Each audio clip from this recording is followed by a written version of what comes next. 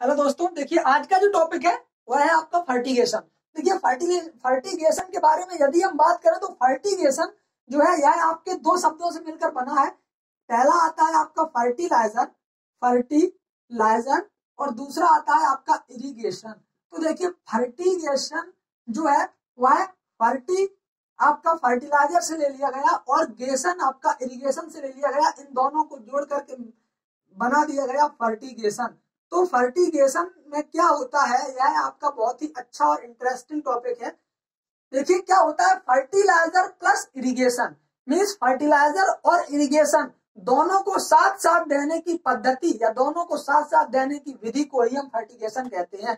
Means सिंचाई, अब इसकी यदि हम परिभाषा की बात करें तो सिंचाई जल के साथ ही उर्वरक को देना या उर्वरकों को देना ही आपका फर्टिगेशन कहलाता है। ठीक है? फर्टिगेशन कहलाता है। फर्टिगेशन जो है, यह आपका एक micro irrigation system, micro irrigation system के अंतर्गत आने वाली एक तकनीक है, जहाँ पर हमने एक विकास किया और उसके जब हम अग्रसर हुए तो हमने सोचा कि कोई फर्टिगेशन में जो है क्या किया कि फर्टिलाइज़र और इरिगेशन, कोई फर्टिलाइज़र देने की ऐसी पद्धति को विकसित किया जाए ताकि जो फर्टिलाइज़र का अच्छी तरीके से उपयोग हो, उसका फर्टिलाइज़र का जो उपयोग दक्षता है, वह कैसे बढ़ाई जाए? तो देखिए, क्या किया हमने इसमें फर्टिलाइज़र और इरिगेशन दोनों को साथ साथ दिया। देखिए, जैसे इसको हम समझ, समझेंगे कैसे? जैसे आप मेडिसिन लेते हैं तो मेडिसिन को लेने के लिए हम क्या करते हैं? यदि आप एक गिलास आप मेडिसिन पहले तो आप कुछ टेबलेट मेडिसिन की ले रहे हैं, ऐसे ही खा ले रहे हैं, ठीक है? उसके बाद वाटर अलग से ले रहे हैं। तो इसको हम वाटर और मेडिसिन दोनों को लेने के लिए हम क्या करें? सबसे अच्छा तरीका हमारा ये होगा कि एक गिलास हम वाटर लें और वाटर में मेडिसिन को घोल लें और घोल करके पी जाए। ये आपका तरीका जो है, ये सबसे बेस्ट तरीका होगा और जो है, जैसे ही उसमें वाटर में एब्जॉर्ब हो जाएगा तो हमारी बॉडी भी अच्छी तरीके से मेडिसिन को एब्जॉर्ब कर लेगी। मीन्स जो उसकी उपयोग दक्षता होगी, वह ज़्यादा हो जाएगी। इस उपयोग दक्षता को बढ़ाने के लिए ही हमने फर्टिगेशन पद्धति का विकास किया। फर्टिगेशन पद्धति का विकास इसलिए किया क्योंकि हमारे देश में आपको पता होगा कि ज़्यादातर फर्टिलाइज़र किस रूप में दिया जाता है। ज़्यादातर किसान फर्टिलाइज़र को ब्रॉडकास्टिंग के रूप में देते हैं। ब्रॉडकास्टिंग का क्या मतलब हुआ? छिटकवा विधि से देते हैं। इस प्रकार से। तो जब छिटकवा विधि से देते हैं तो वहाँ पर क्या होता है? एक यूनिफॉर्म रूप में फर्टिलाइज़र का वितरण नहीं हो पाता है। तो हमें यूनिफॉर्म के रूप में समान रूप से फर्टिलाइज़र का वितरण करने के लिए हमने क्या किया कि सिंचाई जल में ही हमने फर्टिलाइज़र को घोल दिया और उस घोल को ही हमने पौधों को पौधों के पौधों तक पहुँचा दिया। यही पद्धति आपकी फर्टिगेशन कहलाती है। अब देखिए जो ब्रॉडकास्टिंग विधि थी उसमें ए, उसके ड्रॉबैक क्या थे साइड इफ़ेक्ट क्या थे उनको समझते हैं। देखिए यदि हम क्या करते हैं छिटकवा विधि से जब हम फर्टिलाइज़र को देते हैं तो वहाँ पर क्या होता है जैसे कि हमें किसी गरीब आदमियों में, गरीब लोगों में यदि हमें रोटियों को बांटना है तो क्या करेंगे? एक पद्धति तो वह होगी, सबसे अच्छी पद्धति तो इसके लिए यह होगी कि हम सभी के पास जाएँ और दस दस रोटियाँ उनको हम पकड़ा दें जा करके। सबसे अच्छी पद्धति तो ये होगी। लेकिन हम क्या करते हैं? जैसे ब्रॉडकास्टिंग को यदि हम मद्देनजर रखते हुए इसका हम उदाहरण दें तो हम क्या करेंगे? अपनी छत पर जाएँगे और छत पर से इस प्रकार से रोटियों को बिखेर देंगे। तो क्या होगा कि कुछ रोटियाँ तो हमारी वेस्टेज हो जाएँगी मीन्स बर्बाद हो जाएँगी और किसी को कुछ, किसी को दो मिलेंगी, किसी को चार मिलेंगी मीन्स जो समान रूप से वितरण होगा, वह पूरी तरीके से नहीं हो पाएगा। तो हमें क्या करना है? सबसे अच्छी पद्धति उसके लिए क्या अपनानी है? नीचे जाकर के सबसे अच्छे दस दस रोटियाँ हम सभी गरीबों में वितरण कर देते हैं। ये हमारा सबसे अच्छा जो है एग्ज़ाम्पल है। तो देखिए, इसी प्रकार से हमने क्या किया कि फर्टिलाइज़र को ही हमने इरिगेशन वाटर में उसको दोनों को सोल्यूबल करके एब्जॉर्ब करके प्रति पौधे के हिसाब से उसमें जो है किसी सिंचाई की पद्धति से देने का हमने एक विकास किया। तो देखिए, अब इसके लिए हमें कोई ऐसी पद्धति भी चूज़ करनी चाहिए सिलेक्ट करनी चाहिए, जिसमें सबसे ज़्यादा वाटर यूज़ इफिशियंसी जिसकी सबसे ज़्यादा हो। तो वाटर यूज़ इफिशियंसी यदि आपने पढ़ा होगा तो आपको पता होगा कि ऐसी कौन सी सिंचाई की पद्धति है जिसमें सबसे ज़्यादा वाटर यूज़ इफिशियंसी होता है। तो वाटर यूज़ इफिशियंसी की यदि हम बात करें तो सबसे ज़्यादा वाटर यूज़ इफिशियंसी आपकी एक सिंचाई की पद्धति आती है, जिसका नाम होता है ड्रिप इरिगेशन तो ड्रिप इरिगेशन की वाटर यूज़ इफिशियंसी लगभग 90 से पचानवे प्रतिशत तक होती है।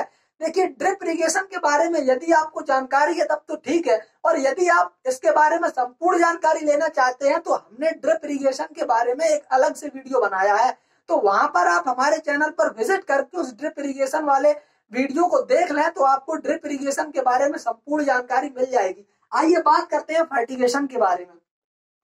तो जब हमने ड्रिप इरिगेशन के माध्यम से हमने फर्टिलाइज़र को पहुँचाने का एक तकनीक विकसित की उसे ही हमने क्या कह दिया? नाम दे दिया फर्टिगेशन अब देखिए फर्टिगेशन में हमने क्या किया? ड्रिप इरिगेशन के लिए आ, हमने इसमें हम करते क्या है? ड्रिप इरिगेशन में हम कुछ पाइप बिछाते हैं और पाइप लगाने के लिए हम उसमें कुछ टैंक बनाते हैं। टैंक बनाने के बाद वहीं पर हम कुछ फर्टिलाइज़र का एक टैंक बना दिया जाता है और इसी माध्यम से हम जो है इसमें देते हैं। अब देखिए इसके बारे में हम थोड़ा सा और बात करें तो इसमें अगला पॉइंट आता है फर्टिगेशन का कि यह जो है एक micro irrigation system, micro irrigation system की एक पद्धति है जिसमें आपकी ड्रिप इरिगेशन आती है, स्प्रिंकलर्स आते हैं, स्प्रिंकलर्स आते हैं और जेट्स आते हैं।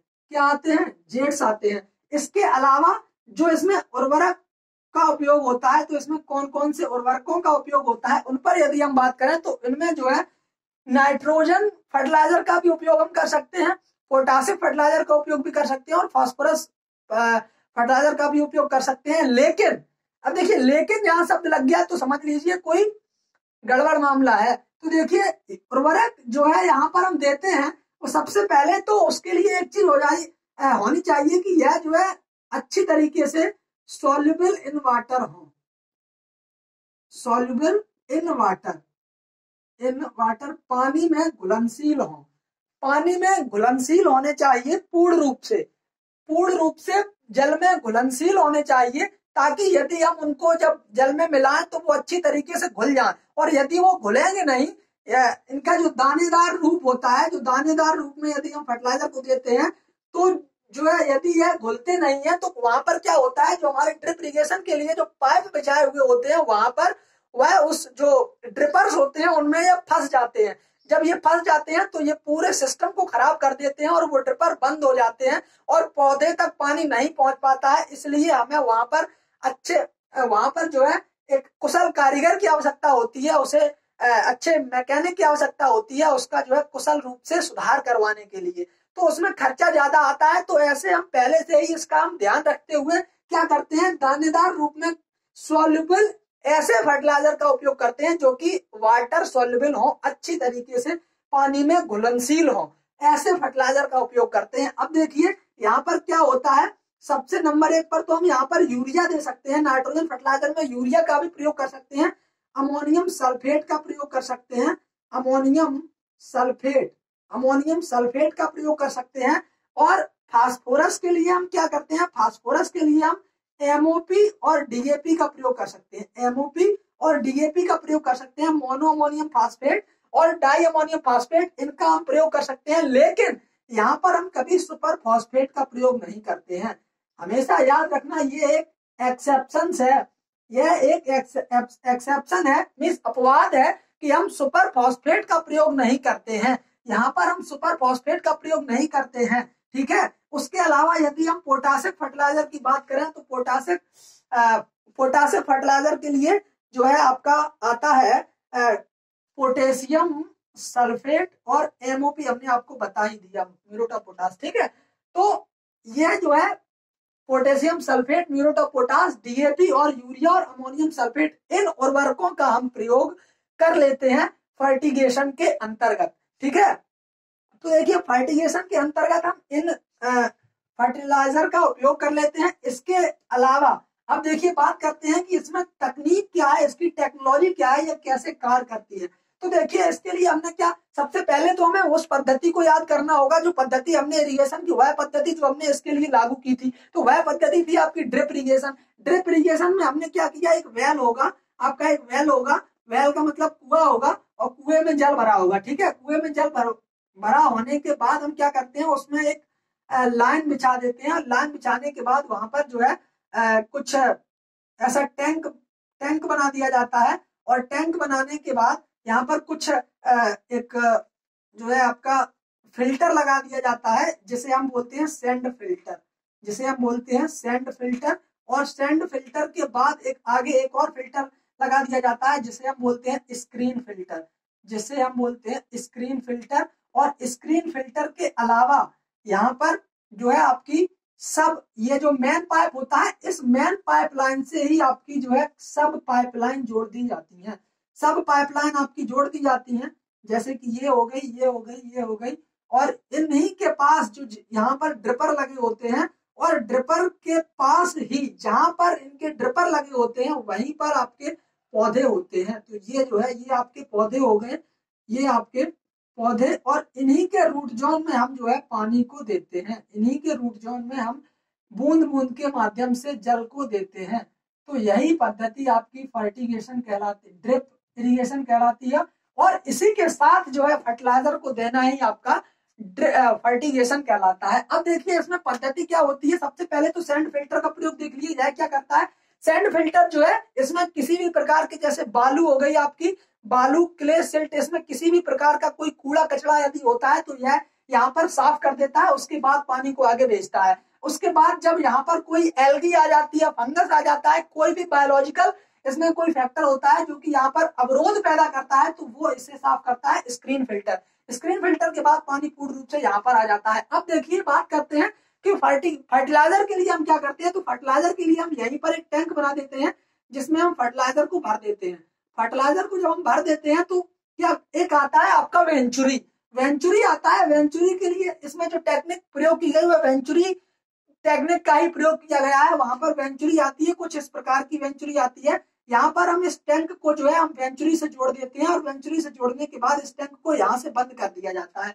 इस टैंक को यहाँ से बंद कर दिया जाता है, यानी कि पानी जब यहाँ तक जाएगा तो यहाँ से इसे बंद कर दिया जाएगा। और ये पानी सीधा वेंचुरी में होते हुए सीधा सीधा आपका पाइपलाइन में जाएगा और पाइपलाइन के बाद पौधों तक पहुँचा दिया जाएगा। इसी पद्धति को हम फर्टिगेशन कहते हैं।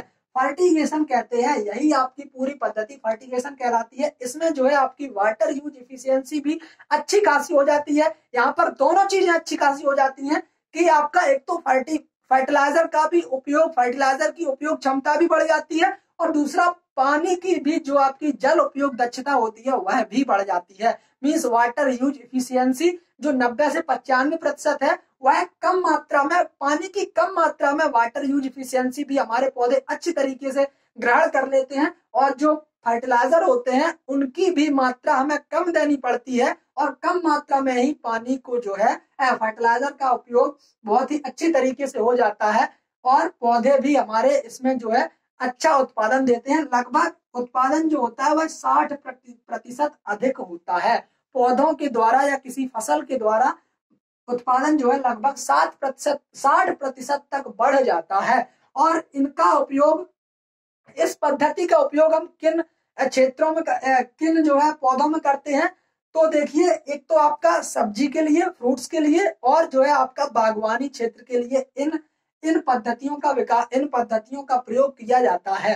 तो और दूसरी चीज़, इन पद्धतियों का प्रयोग उन क्षेत्रों में किया जाता है जहाँ पर पानी की कमी होती है और पानी की कमी होने के साथ साथ फर्टिलाइज़र को हमें अच्छी रूप से और कम मात्रा में देना हो तो हम इस पद्धति का प्रयोग करते हैं जो कि सबसे अच्छी पद्धति मानी जाती है आपकी फर्टिगेशन जल देने की और फर्टिलाइज़र देने की। तो ये बात थी आपकी फर्टिगेशन यदि आपको वीडियो अच्छा लगा हो तो वीडियो को लाइक, कमेंट, शेयर अवश्य करें।